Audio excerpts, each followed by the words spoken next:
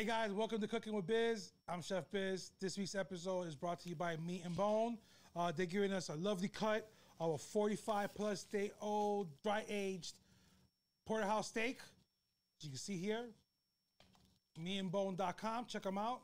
A lovely variety of different cuts of meat. They're a local butcher shop, one in Coral Springs, one in Coral Gables. They will deliver to your house within two hours if you're local, and they do ship nationwide.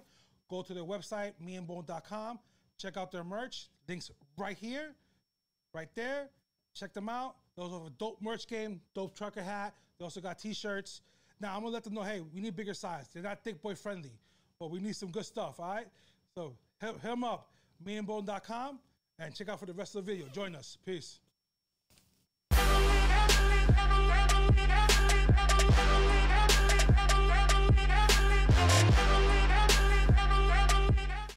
So like I said, it's 45 plus day dry aged steak. Uh, then we're, I'm gonna open up. I'm gonna give it a little bit of seasoning, and we're gonna go take it outside and put it on the grill. All right. Yeah. So once again, so for our porterhouse steak here, what you see a porterhouse steak, this cut right here is your New York strip, and this cut right here will be your filet mignon. And when you get a dry aged steak, the first thing you notice when you open up the packaging, if you get it fresh from the butcher shop, is that it has a funk to it. You know? Now, it's not off putting, smells a little bit like blue cheese, some gorgonzola. Um, and then we're gonna season it up with my uh, my steak seasoning, um, a little bold steak seasoning. You can find on my website soon enough. And then we're gonna take it outside, put it on the grill, get it up to temp. Then we're gonna wrap it in some parchment paper, let it sit for 10 to 15 minutes, and then we're gonna cut into it with a piece of toasted bread. So if you have any questions, leave it in the comments below, and I'll hit you guys up. Follow me. All right, so we're here at the grill. We're gonna hit some of this uh, olive oil spray here. Make sure it's a stick here. Now, if you notice, I got one side on medium and the other side on very low. And we're gonna start the steak off at the hot side.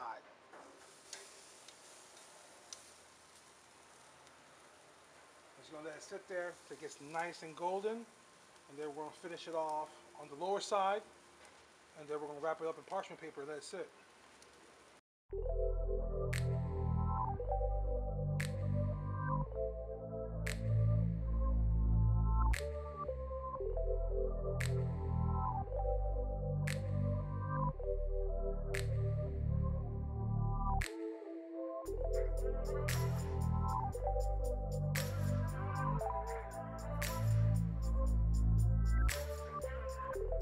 Thank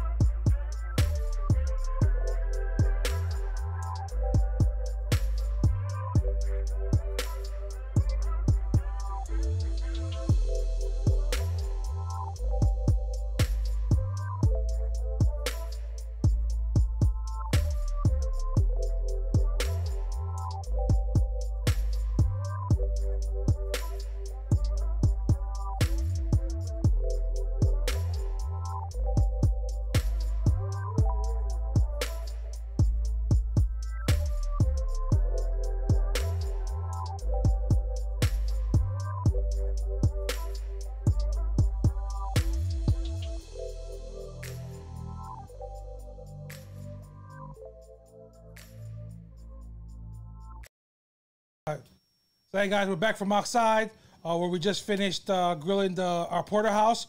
We wrapped it up in some parchment paper. It's been sitting here for about five to 10 minutes now. We're just gonna chop up this uh, grilled Italian bread that we did on the grill right outside with some olive oil, pink Himalayan salt, little herbs, and we're just gonna chop it up. Can y'all hear that crunch?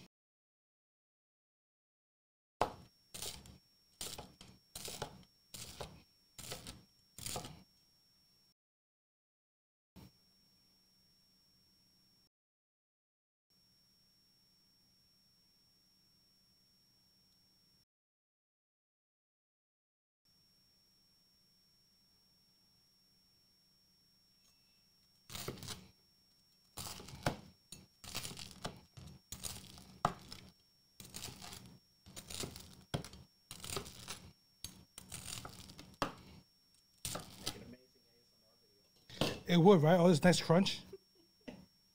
Thank you guys joining us right now. Real El Chefe, Wendy, what's going on? You guys are watching behind the scenes. Bros, what's up? Watching a little bit behind the scenes of Cooking with Biz, shooting a YouTube video right now, sponsored by Meat and Bone. So shout out to Meat and Bone as well, local butcher shop up in Fort Lauderdale and Miami. Check them out. We got this steak coming up. It's like a meat Christmas. I'm gonna take that.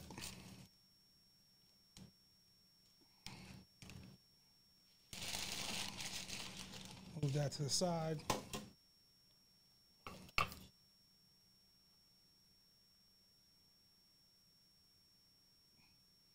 Now, what we like to do to serve it is we're going to cut off the bone as best as possible.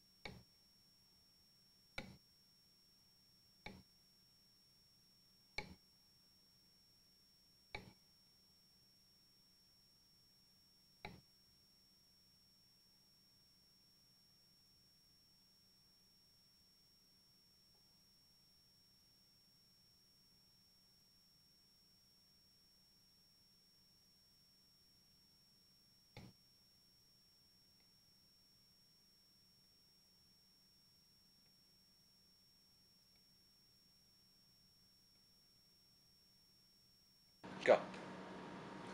All right, guys. So you saw me go through the whole meat and bone packaging with our 45 day plus dry age porterhouse.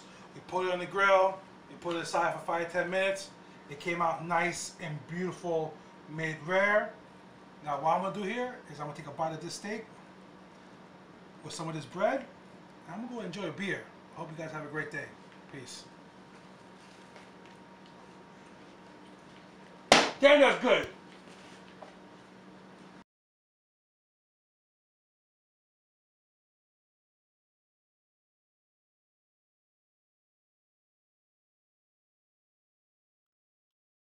Hey fam, thank you so much for watching the video. Don't forget to like and subscribe. Hit the bell on top so we can catch all our weekly updates. Peace.